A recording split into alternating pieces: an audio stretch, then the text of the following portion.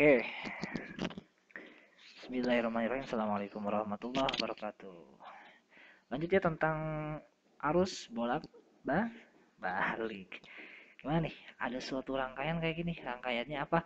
R, L, C ya. R-nya apa? Resistor, L-nya induktor ini, yang C-nya kapasitor. Jadi ada tiga buah rangkaian ya dalam arus bolak-balik ini. Oke, yang ditanya apa? Arus maksimum. Imax. Ya udah, karena rangkaiannya RLC, maka persamaannya kayak gini. V, nah itu sama dengan I dikali hambatan kan. Karena hambatannya, rangkaiannya itu RLC, maka hambatannya adalah Z. Gitu ya. Jadi ketika ini V max, di sini juga I max. Oke. Jadi gimana nyari I max? I max sama dengan pindah ke bawah Z-nya. Jadi V maksimum dibagi impedansi atau Z ya. Impedansi itu adalah hambatan pada rangkaian RLC ya. Oke. Jadi ini nih. V maxnya ada nggak? Nah, V maxnya ada pada persamaan sinusoidal ini. Nah, ini adalah V, V maxnya ya. Udah ada tuh. 26 cuman Z-nya ini yang harus kita cari. Gimana tuh cara nyari Z? Ini ini ini ini, ini di sini deh sini ini ini oke kita tarik dulu ke bawah garis. Gimana rumus Z? Ada yang tahu nggak? Banyak ya. Z adalah oke akar ah, R kuadrat ya hambatan resistor dikuadratkan ditambah XL ini adalah hambatan pada induktor dikurangi hambatan pada kapasitor XC dipangkatkan juga. Jadi kayak rumus Pitagoras ya. Nah, ini R-nya ada. XL-nya gimana? XL-nya kita cari dulu. XL itu rumusnya adalah omega dikali L. Omeganya berapa di sini? Omeganya kecepatan sudutnya adalah di sini nih.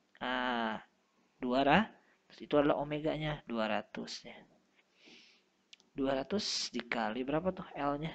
Induktansi dirinya itu adalah 0,075 Henry. 0,075. Berapa? Coret, coret, coret lagi, coret lagi, komanya pindah ke sini.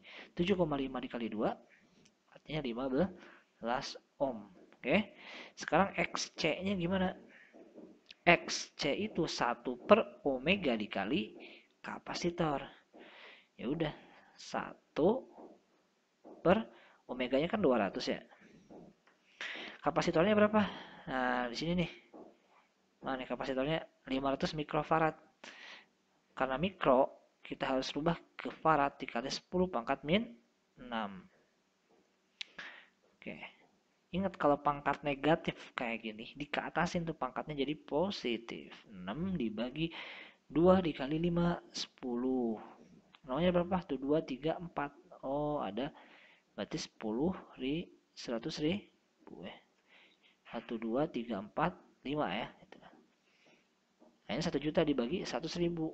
Ya udah, cara-cara tinggal 10, 10 ohm. Dapat gak tuh? Dapat. Tinggal kita masukin ke rumus Z.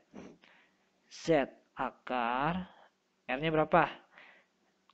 R-nya adalah 12 pangkat 2 ditambah nah XL-nya dikurangi XC berapa? 15 dikurangi 5 eh 15 dikurangi 10 berarti 5 kuadrat berarti akar 144 ditambah 25 berapa? Akar 169 atau 13 ohm. Inilah impedansinya. Ketika sudah dapat, masukin ke rumus ini. V maksimumnya berapa tadi? Ah, betul 26 ya. 26 volt. Artinya 26 dibagi Z-nya itu 13. 13. Oh, berarti I maksimumnya berapa tuh? Duh, 2 ampere ya. Nah, kayak gitu. Oke. Jadi hafalin rumusnya ya. Oke.